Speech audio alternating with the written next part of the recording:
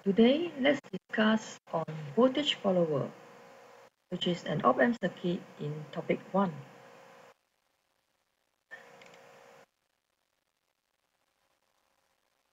Remember, we have studied on a non-inverting amplifier. What is the voltage gain of a non-inverting amplifier? It is AF equals to 1 plus RF over R1. What happens if RF equals to 0 ohm or RF is replaced by a jumper wire of 0 ohms? The circuit will look like this and what happens to the closed loop voltage gain AF? Now you can see that it becomes a value of 1. What does it mean? It means that output voltage becomes the same as input voltage. We say that output voltage follows the input voltage and we call this circuit a voltage follower. Now can we simplify it further? Look at the circuit again. Equation 1 shows that R1 is not required to get AF equals to 1. So now we have this simplified circuit which is voltage follower.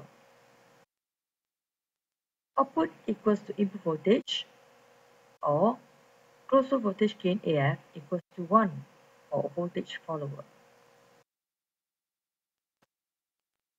A voltage follower is also known as a voltage buffer.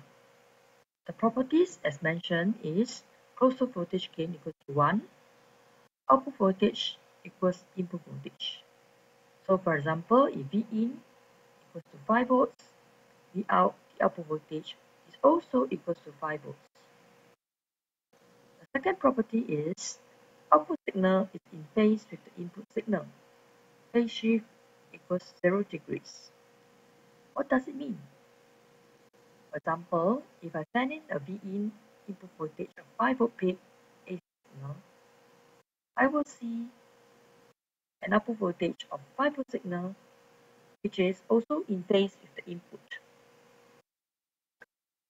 The third property is it is true for any op-amp circuit that the input resistance is very high and the output resistance is very low.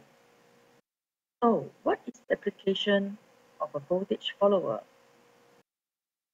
Voltage follower can isolate a high resistance source from a low resistance load and it can reduce loading effect.